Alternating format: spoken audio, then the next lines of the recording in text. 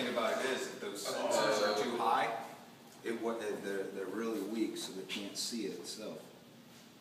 Yeah, it's getting sketchy. What are you doing to me?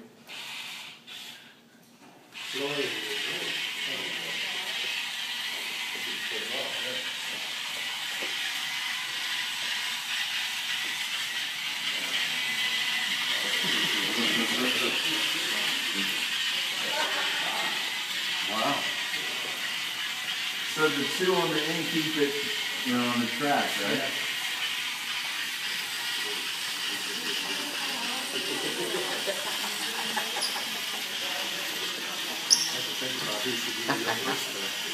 Where's the missiles at?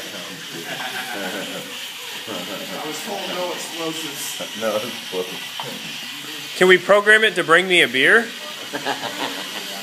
What about a shot? Because I'll be in line to buy it first, or a shot. It might not be able to carry a beer.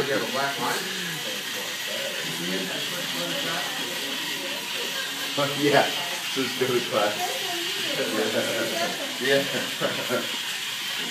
You should, you should put a picture of your face. They're gonna do.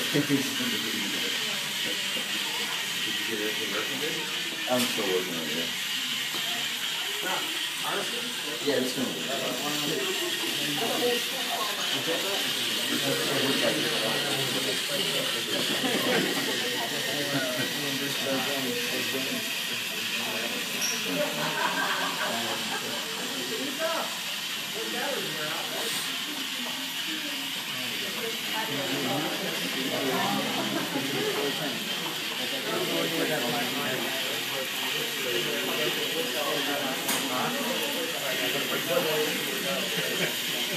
So what is it reading on the black line to keep it going?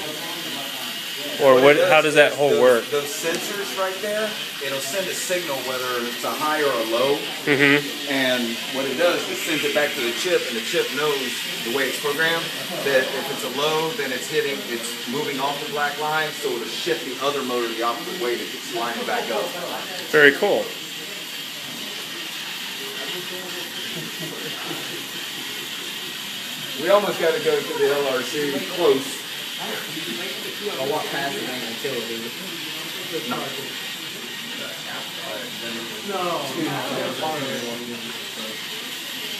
I'm trying to get through. You dudes walking so slow.